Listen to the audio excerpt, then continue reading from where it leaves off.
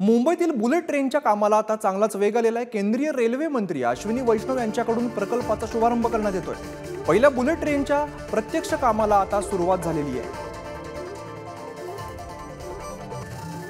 प्रधानमंत्री श्री नरेंद्र मोदी जी ने जिस तरह से देश को एक आत्मविश्वास दिया है, जिस तरह से नए काम को चैलेंजिंग काम को लेकर उसे सक्सेसफुल करने की जो प्रेरणा दी है वो, ये प्रोजेक्ट उसकी मिसाल है।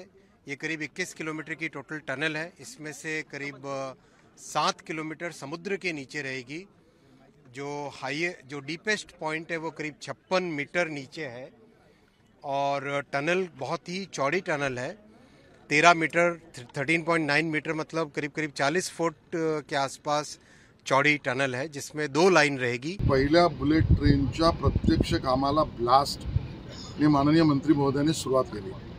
खरं तर हे काम अडीच वर्षापूर्वीच सुरू व्हायला पाहिजे होतं.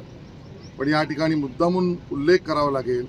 तत्कालीन उद्धव ठाकरेच्या सरकारने याला विरोध केला याला परवानगी दिली नाही आणि अडीच वर्ष जनतेची फुकट गेली. कॉस्ट एस्कलेशनचा सुद्धा पाप हे उद्धव ठाकरेजी आणि त्यांच्या सरकारकडे जातं.